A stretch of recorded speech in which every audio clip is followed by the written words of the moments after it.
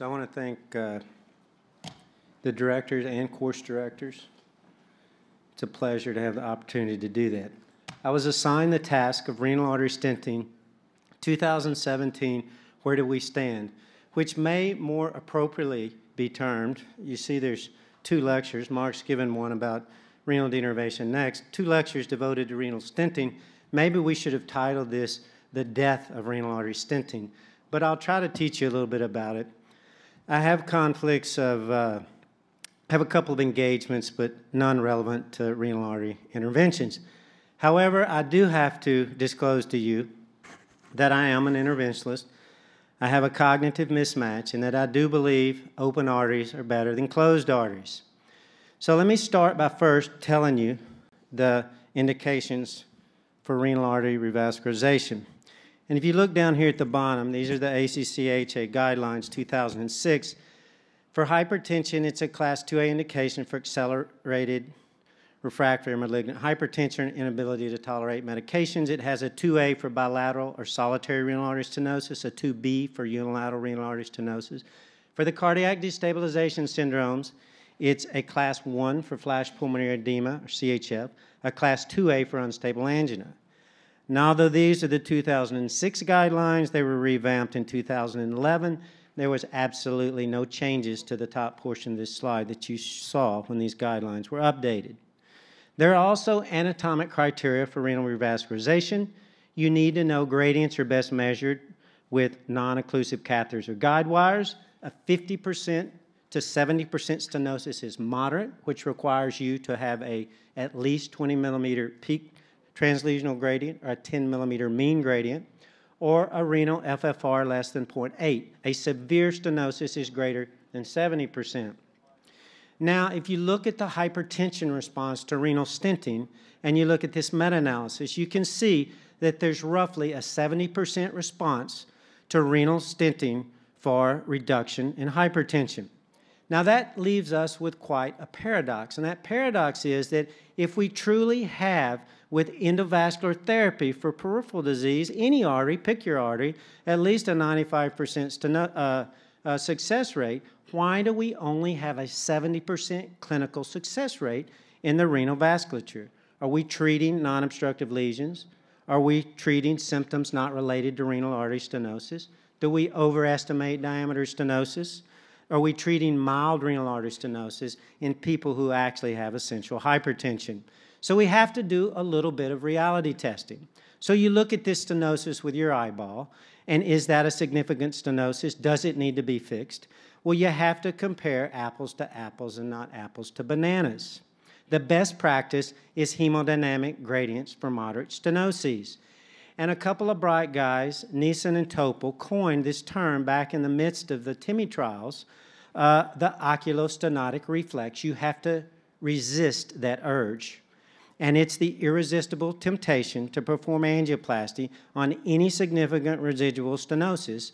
And they were trying to get to the fact that we were all dilating these moderate stenoses after we had watched these arteries for 90 minutes. And then you take your angiogram, and the whole cath team's sitting there waiting to see if thrombolytic agents work or not. And then, bam, if there's a 60% stenosis, well, I'm here in the middle of the night, I'm going to treat it you have to resist the oculostenotic reflex. Perhaps the single weakest link for renal stenting is angiographic renal artery assessment, which has absolutely no correlation with any hemodynamic parameters, baseline, hyperemic gradient, or renal FFR.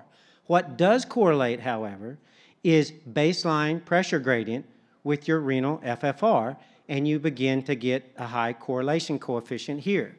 So, if you look at a renal FFR less than 0.8, you have an 87% predictive response uh, for treating uh, that renal artery for response to the hypertension. Whereas if the FFR is greater than 0.8, you only have a 25% response. So what about gradients in hypertension? You look at their and, and angiographic uh, stenoses. You look at this gradient of 57, which correlates angiographically with that lesion. You put a balloon in it, it's a 28 millimeter stenosis, and it looks like this angiographic image. But I would beg that this angiographic image is identical to this angiographic image. I don't see much different in the percent stenosis, yet one has a gradient of 28 and one has a gradient of zero. This elegant study, uh, published by Mangiacapra in 2010, uh, he looked at uh, mean grade, at the, let's say look at the dopamine mean gradient to predict uh, the, a response of uh, hypertension to renal artery stenting. And in this curve, you can see at a, at a gradient of 20 millimeters of mercury, there's a specificity of roughly 75% to predict a response of hypertension to renal artery stenting. If you move up to, say, the 32, 33 millimeter gradient, whatever this is, that has a specificity of predicting almost a 95% response of renal stenting for the hypertension uh, response to that. So what about Astral and STAR trials? Two randomized trials that demonstrated no benefit for renal stents published in reputable journals. The first one, the STAR trial, renal artery stenosis were greater than 50%. And what did I tell you? 50 to 70 is moderate stenosis. It requires other evaluation. Blood pressure was controlled on medical therapy with less than 140 over 90. That's JNC8 guidelines right now. Uh, entry criteria GFR less than 80.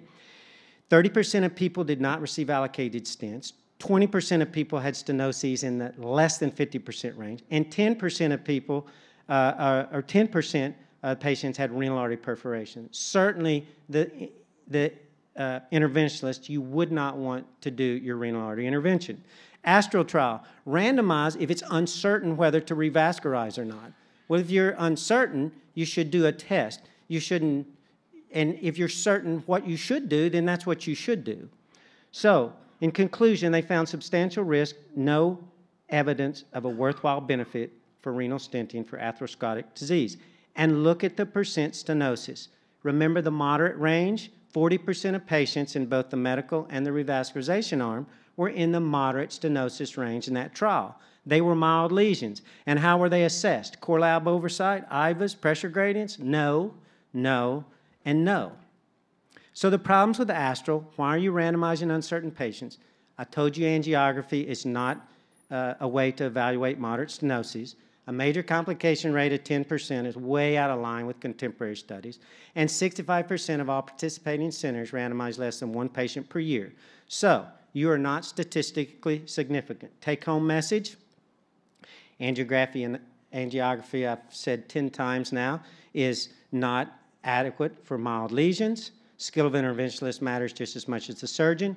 The STAR and ASTRAL trials are guilty of intellectual crimes against medicine, and the New England Journal and Annal editors are indicted as co conspirators, which led my boss and partner to publish this really humorous Kiss My Astral uh, editorial that I would encourage you all to read, uh, maybe when you're sitting in the bathroom. I don't know. But then we thought end all be all was Chris Cooper's coral trial.